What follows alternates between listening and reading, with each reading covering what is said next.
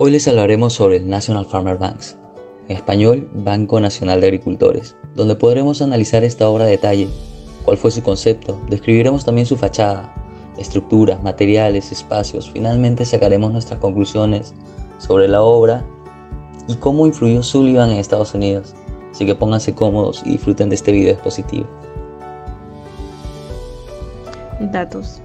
El Banco Nacional de Agricultores está ubicado en Owatonna, Minnesota, en Estados Unidos, y es un edificio histórico de un banco diseñado por Louis Sullivan. Este edificio fue construido en 1908 y fue el primero de los diseños del Banco Joyero de Sullivan. Contexto. Bueno, los funcionarios del Banco Nacional de Agricultores buscaron a Sullivan en parte porque querían una idea nueva de un edificio bancario que se adaptara a sus necesidades específicas y bueno, ellos sentían que la arquitectura bancaria convencional de la época no las cumpliría. El banco fue remodelado en 1940 y muchos de los elementos arquitectónicos interiores fueron destruidos.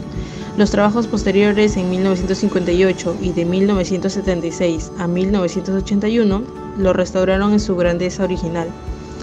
Asimismo, el 7 de enero de 1976 fue reconocido como Monumento Histórico Nacional por su importancia arquitectónica y bueno, el edificio ahora alberga a una sucursal del banco Wells Fargo. También es una propiedad que contribuye al distrito histórico comercial de Owatonna.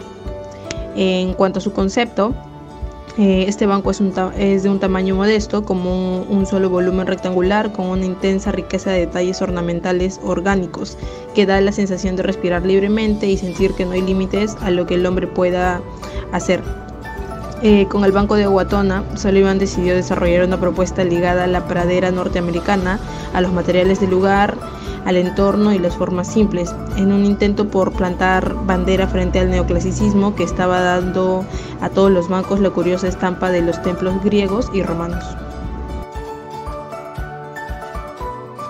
Fachada Sullivan diseñó el, banco para que se pareciera a una caja fuerte con joyas, dando a los depositantes una sensación de seguridad. El adorno fue esencial para la estrategia de diseño arquitectónico de Sullivan, que se inspiró esencialmente en la flora y fauna autóctonas del paisaje de las praderas del medio oeste de Estados Unidos. Siguiente, por favor.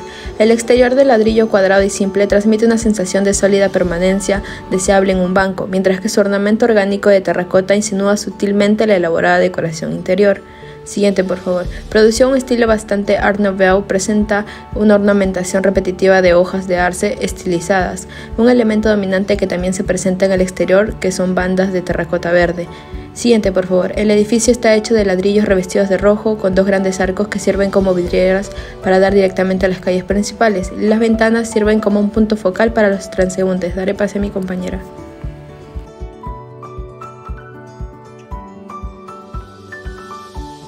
En lo que es la estructura y materiales, el arquitecto Sullivan para el banco utilizó un tema de un arco semicirculares dentro de un cuadrado donde contiene vidrieras colocadas en el volumen y luego le juntó un edificio de oficinas rectangulares con ladrillos.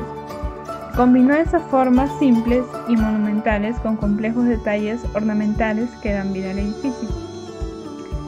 Fue construido con vigas de acero verticales entre cada panel de vidrieras creando un contraste distintivo entre la geometría y la ornamentación.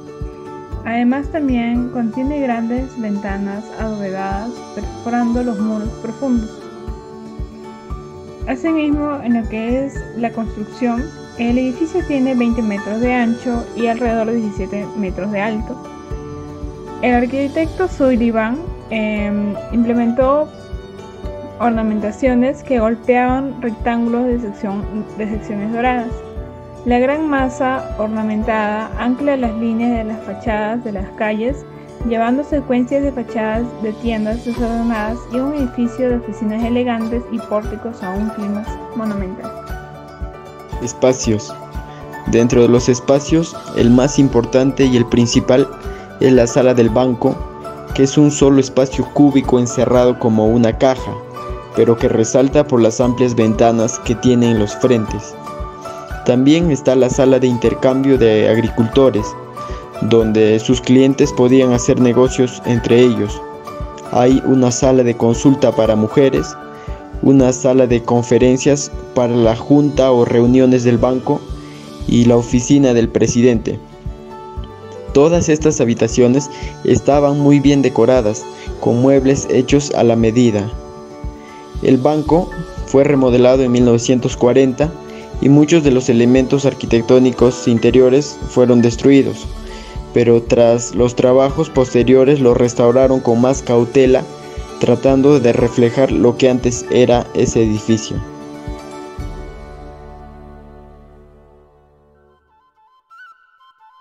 Se puede concluir que él fue el creador del término la forma sigue la función. Los numerosos edificios de Sullivan abrieron senderos tanto en términos de innovación tecnológica como en ornamentación decorativa. A diferencia de otros arquitectos como Adolf o Walter Gropius, sus obras fueron construidas para vivir armoniosamente con las necesidades humanas y el tejido urbano. Muchas de las estructuras de Sullivan respondieron al entorno en el que estaban retenidas. El National Farmer Banks de Owatonna es uno de una serie de bancos diseñados en una última parte de la carrera de Sullivan, que goza de un lugar prominente dentro de la pequeña ciudad de Minnesota.